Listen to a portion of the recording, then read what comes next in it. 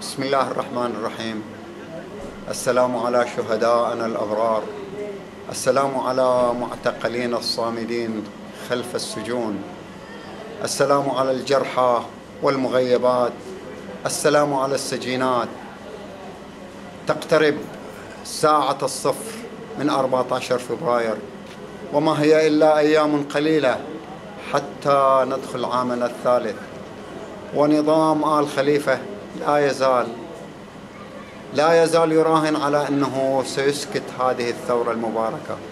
ونحن نقول له بإذن الله سوف نكون في الساحات. ولن ترهبنا قواتكم ولن ترهبنا جيوشكم. وإن حوار سلمان بن حمد فاشل فاشل فاشل.